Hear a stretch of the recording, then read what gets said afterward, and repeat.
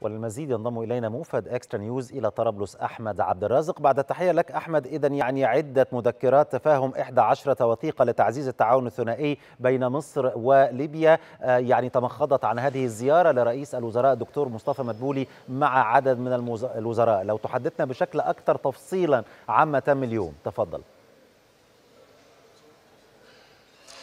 تحياتي لك شادي ولمشاهدي اكسترا نيوز في كل مكان. لقد فتحنا الطريق وأنتم أول الداخلين. هكذا عبر السيد عبد الحميد الدبيبه رئيس حكومة الوحدة الوطنية الليبية عن كل ما تم إنجازه أو التوافق عليه في هذه الزيارة التي تعد تاريخية بكل ما تحمله الكلمة من معنى. ولكن ما هي منجزات هذه الزيارة؟ هذا ما نستطيع وربما نستطيع أن نوجزه في هذه العجالة. بداية كان استقبالا رسميا في مقر حكومة حكومة الوحدة الوطنية الليبية كان في شرف استقبال رئيس الوزراء المصري الدكتور مصطفى مدبولي السيد عبد الحميد الدبيب رئيس الحكومة الوطنية حكومة الوحدة الوطنية الليبية ووفد رفيع المستوى أيضا من حكومته. عقب الاستقبال الرسمي كان هناك عدد من الجلسات الثنائية الجلسات الثنائية بين رئيسي الحكومة وبين الوزراء المعنيين من كلا الطرفين. عقب ذلك جلسة مباحثات أو مناقشات مناقشات مفتوحة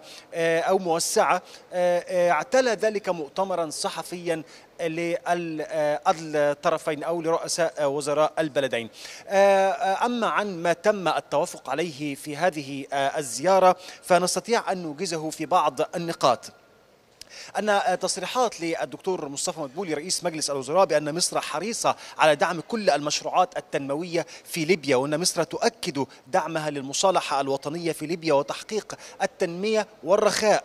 آه يعني هناك العديد من الوزراء ربما كان الوفد الوزاري المصاحب لرئيس الوزراء المصري هو الأكبر من نوعه الذي نراه ربما في زيارة خارجية لمصر فشمل وزراء الكهرباء والطاقة المتجددة البترول والثروة المعدنية الصحة والسكان التربية والتعليم القوى العاملة التعاون الدولي الإسكان والمرافق العمرانية النقل الطيران المدنية التجارة والصناعة وأيضا رئيس الهيئة العامة للاستثمار وعدد من المسؤولين والتنفيذيين. تم التوقيع بالفعل على 11 على 11 وثيقة لتعزيز التعاون بين البلدين. من الأخبار الجيدة أنه سوف يعاد فتح السفارة المصرية في ليبيا بعد عيد الفطر. وأيضا هناك دعوة من السيد عبد الحميد الدبيبة للرئيس عبد الفتاح السيسي لزيارة زيارة زيارة مرتقبة لليبيا. هناك ثلاثة اتفاقيات مثلا تخص مجال الاتصالات والتعاون التقني والتدريب الفني ومذكرة تفاهم في مجال المواصلات والنقل. وهناك يعني مذكرات تعاون أيضا لتنفيذ مشروعات الطاقة والبنية التحتية. وفي المجال الصحي أيضا هناك العديد من اتفاقيات. هناك ثلاثة اتفاقيات أخرى عن الكهرباء والطاقة والنقل والإسكان. إذا هناك يعني توافق وعدد كبير من الاتفاقيات تم بين كلا الطرفين. يعني تحدث أيضا رئيس مجلس الوزراء الدكتور مصطفى مدبولي عن خط ملاحي بين البلدين خط ملاحي بحري بين البلدين. وتحدث أيضا عن تنظيم عودة العمالة المصرية إلى ليبيا. وأخيرا اتفق على بدء التحضير للاجتماعات المقبلة للجنة العليا المشتركة المصرية الليبية بالفعل شادي كما ذكرت لك ربما هذا بعض أو يعني معظم النقاط التي تم التوافق عليها أو الحديث بشأنها بين الطرفين المصري والليبي في هذه الزيارة التي بالفعل نعدها تاريخية من حيث ما تم فيها من إنجاز ومن حيث حجم المسؤولين التنفيذيين المشاركين فيها من كلا الطرفين. يعني هذا نعم يعني هذا هو سؤالي أيضا الأخير لك الآن أحمد. يعني, يعني هذه الزيارة وأصداء هذه الزيارة في ليبيا. يعني استقبال يعني المسؤولين في ليبيا لهذه الزيارة من رئيس الوزراء المصري برفقة مجموعة من وزراء الحكومة المصرية. ما هي أصداء هذه الزيارة؟ ما الذي لمسته؟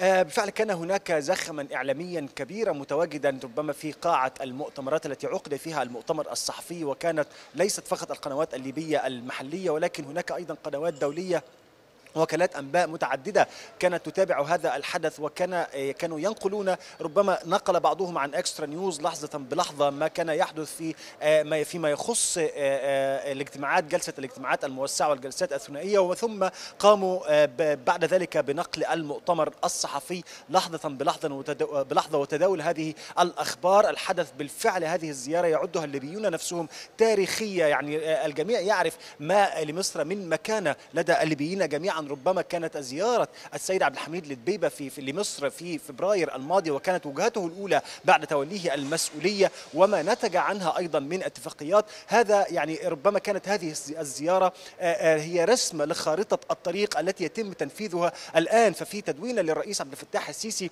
يعني قال أنه يدعم بكل بكل ما لدى الدولة المصرية من طاقة وخبرات. يدعم الاستقرار والأمن في ليبيا ويدعم التنمية والمشروعات في ليبيا وأنه خلال الفترة المقبلة سوف يكون هناك تبادل للزيارات. وبالفعل ربما هذه الزيارة هي الأكبر خلال الفترة التي تلت هذه الزيارة التي قام بها السيد عبد الحميد الدبيبه إلى القاهرة في فبراير الماضي والتي استقبله فيها الرئيس عبد الفتاح السيسي. الآن تبدأ الزيارات الحقيقية وتبدأ المشروعات التنموية الحقيقية التي ينتظرها الليبيون. وكما يعني بدأت هذا هذه الرسالة بجملة السيد عبد الحميد الدبيبه لقد فتحنا الباب وأنتم أول الداخلين. بالفعل هذا ما يحدث. الآن ليبيا منفتحة بشكل كبير على العالم من أجل إعادة الإعمار وإعادة البناء وإعادة الاستقرار لهذا البلد. وربما كانت مصر يعني بالفعل أول الداخلين لأنها كانت أول من يقف أو أول من وقف بالفعل بجانب ليبيا في وقت الشدة أو وقت الأزمة أو وقت الضيق. وبالتالي فهي الأولى أن تكون بجانبها في وقت الإعمار والتنمية والاستثمار. شكرا جزيلا لك أحمد عبد الرازق موفد إكسترا نيوز إلى العاصمة الليبية طرابلس.